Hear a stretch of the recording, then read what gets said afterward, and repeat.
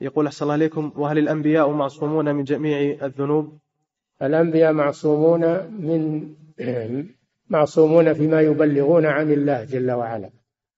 معصومون في تبليغ الرسالة ومعصومون من الكبائر ومعصومون من الاستمرار على الصغائر. معصومون من الاستمرار على الصغائر فإذا وقعت منهم من أحد منهم صغيرة بادر بالتوبة لأن الله ما ذكر لنبي شيء من المخالفة إلا وذكر التوبة أنه تاب منها فهم معصومون منها في النهاية. أما تبليغ الرسالة والكبائر فهم معصومون منها في البداية وفي النهاية. نعم.